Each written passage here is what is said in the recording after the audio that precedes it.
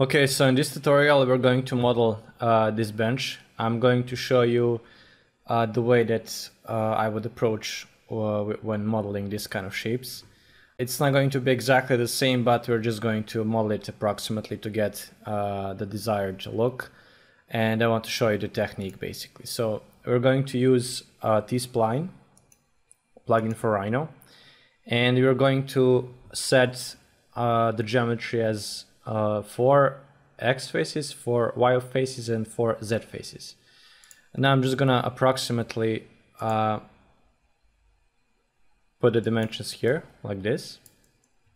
And now I'm going to uh, enter uh, the uh, the mode in in T-splines so that I can change the geometry.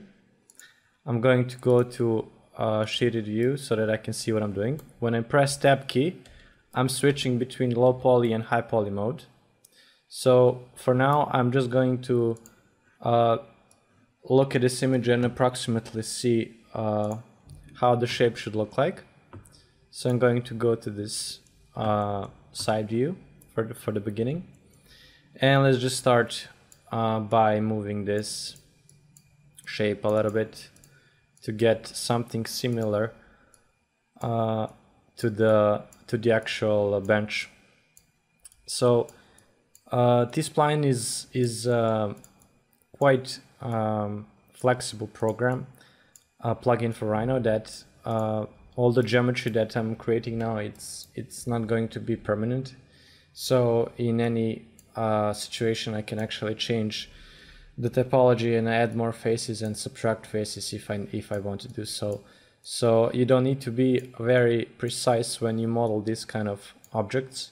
You just need to approximately know uh, the effect that you want to get, and then um, you will you, you're good to go. So now I noticed that I actually need one edge here to make this a little bit less less sharp. So I want to actually select this edge, press K on the keyboard, it selects the whole circle around. Then I'm going to use this command to add to insert one edge, like this. And now uh, what I can do, I can actually also manipulate a little bit on this part here and add it a little bit of thickness, which is actually uh, the effect that I'm going for. Um, here on the bottom, I can notice that it's actually uh, something like this. So I can actually switch between these two modes and see which one are the best in my case. Uh, you want to to maintain the overall smoothness. You this means that you want the lines to go smoothly from one side to the other. So this would mean that like you want to have smooth transition you don't have very sharp corners. Uh, only uh, only you want sharp corners when it's like very very very um, steep angle. Uh, in that case you need this kind of uh, uh, this kind of uh, shapes to follow each other. And now let's let's see what we got. So so I'm comparing this with my with my reference image I can actually see that maybe I, I need another or no let's see. Let's see in the perspective. So yeah so I need to move all this a little bit inside to have nice nice a seating place there. Okay then I'm going to also add another edge here like this and here as well. Uh, all right so now I actually want to move this a little bit so that it creates nice nice corners. I don't want them to be very sharp so if you move them the fillet is much better. Um, the same thing here. Just move them a little bit as I said before, this is not very important. It's just maintaining the overall shape of the form that uh, shape and form that you want. So uh, when you're satisfied with, with how the shape looks from one side, then you move to the other side. And now I can see in my image, I see that it has like a, a little bit of a curve here and a bit of a curve there. So I want to, to try to imitate this. So I'm going to probably, yeah, pull this in, this part in, pull this in as well a little bit, and this one. So I want to create this smoothness effect like so. Maybe I even want to I'll lift them up a little bit. Why not?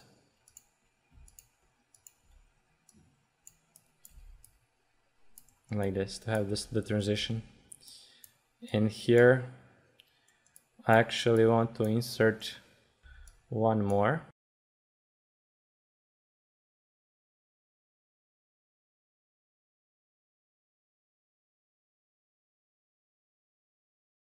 Uh, th this side of the bench is a little bit too high for now, so I'm going to lower these parts down. Uh, and then let's see what we get. So we're getting closer. Now just uh, it's just tweaking to see what would fit the best and what can I do to make the transition as as smooth as possible. I'm moving this in the middle so yeah so it has this nice transition effect I'm maybe even going to move these two vertices inside a little bit like this and this one as well so the goal is to to have very smooth lines that's um, that's what we're going for like this uh, so I'm happy with this side. Now I'm going to see what I can do here. I see that this needs to be taller. And I actually see that I need one more edge here because I want to have a smoother transition here. I mean steeper, not smoother. Like this.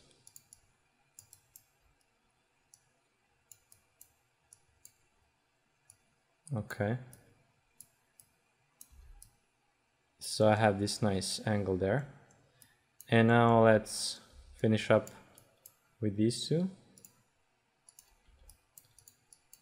I'm I'm actually if you're wondering how I'm, I'm selecting I'm changing the uh, the vertices and edges uh, I set up the hotkeys here uh, in T-splines there's an option here that you can set hotkeys like shortcuts for your uh, commands. So I set here vertex selection, object selection, edge and face as one, two, three, four. So each time I click, for example, if I click number two, it will give me the selection mode for the edges. If I click number three, it will give me the selection mode for the faces. And uh, number one is for vertices and number four is for the whole object. So that's, uh, that's the way you can actually get very fast when modeling these kind of things because shortcuts are um, very useful when it comes to uh, speeding up the workflow and uh, uh, having the objects um, prepared much much faster than you would usually do because each time you click each time you're searching for the command you're losing time so if you want to model efficiently you need to learn how to deal with shortcuts and how to um, implement them in your workflow because they're very beneficial at the end. Uh, not just I'm not just talking about T-splines. I'm talking also about Rhino in general and uh, about any other program, CAD software, AutoCAD, 3ds Max, or Illustrator. So once I'm happy with with how this looks, um, well, let's see. So yeah, I'm happy with the look. I just want to maybe move all of this a little bit further. I mean closer, sorry. Like so. I'm moving it, okay, like this. and I'm going to move these lines in the middle and maybe add a little bit of curvature there so that it seems like it's curving on the inside. Like this. Just just a slight touch. So it has that smooth transition. So um, once I'm happy once I'm happy with with my uh, model I uh, the next thing I want to I want to do is convert this geometry into Rhino geometry Rhino NURBS geometry. And uh, the way to the way to convert uh, the Rhino geometry, the T-spline geometry into Rhino geometry is by uh, using um, uh, this option here. It says when I click on the right click, convert to Rhino NURBS polysurface or mesh. That's what we want. So I'm quite happy with how this turns out. Turned out. Of course, you you don't need to like you can modify it further if, if you want to make it perfect but just for the sake of the tutorial I I will leave it like this. It's not uh, exactly the same as uh, the reference image but it's quite close uh, so you get the idea of how this can be created.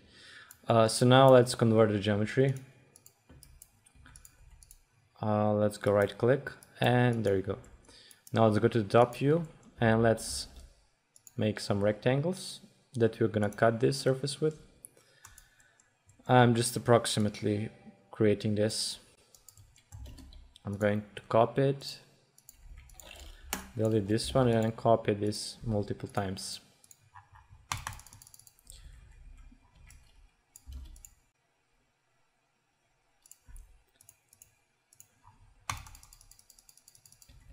Like this.